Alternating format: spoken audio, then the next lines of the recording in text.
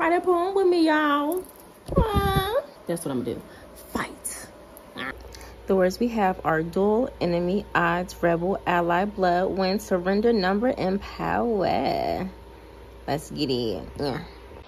So when I landed on this prompt, I didn't even think about anything external. I thought about internal, like, you know, the fight within yourself. But then I also thought, hmm, like you shouldn't be fighting with yourself. So I kind of turned it around in a way. Um, so yeah, you know, I think I, th- I think I think y'all gonna mess with this bad boy. The poem is complete. Let's get it.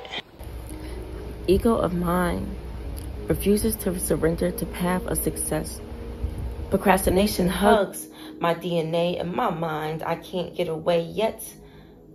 I can. Seeing a line of numbers, the power in me speaks wonders. Wonder if I will plunder but can't. Hire me will when to do it. My medulla oblongata. backbone bound to get stronger. Can't crack under pressure of mind. Can't turn shadow to enemy. We'll still be together, but at odds can't do frenemies. This balance I must master to unlock more of me. That's a master key. So I can't fight with me. Love I three much to draw blood with self. The rebel is needed. But the ally truly helps. When higher I wins this wager, no part of me will feel depleted. But if I let ego and me take the lead, I will ever feel defeated can't fight within me. Only balance and coexistence will truly bring peace. TSP.